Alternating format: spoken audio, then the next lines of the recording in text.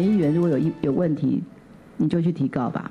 被指一出现在三月十号有关金华城容积率关键会议，是否扮演牵线角色？黄珊珊前一天隔空开枪简书培，如今简书培再爆料。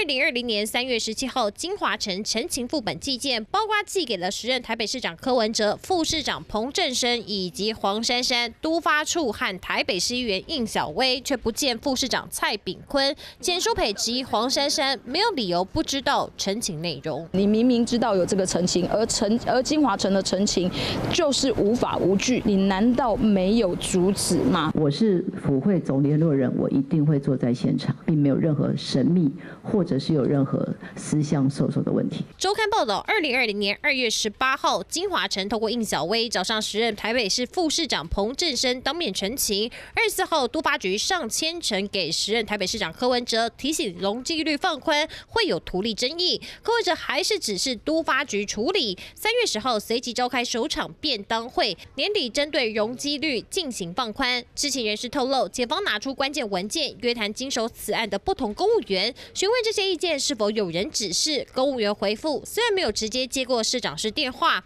但看到上面转交下来金华城的陈情书，就知道是市长是要的。民间的都市计划变更案由市长亲自签合公告的，就是金华城。第二个唯一见金华城所说所送的细部计划，还帮他开专家学者讨论。据了解，北检大规模约谈相关人之后，近期也将会约谈柯文哲，说明是否可以全身而退。随着越来越多文件和资料曝光，也成为未知数。三立新闻郭素嘛，玉文台报道。